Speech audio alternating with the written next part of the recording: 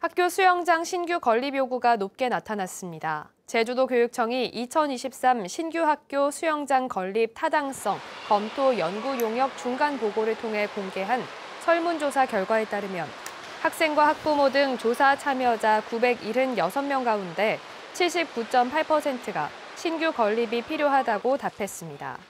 또 69%가 주민 개방이 필요하다고 답했고 운영은 공단 운영이 47%였고 학교 자체 운영은 11.9%였습니다.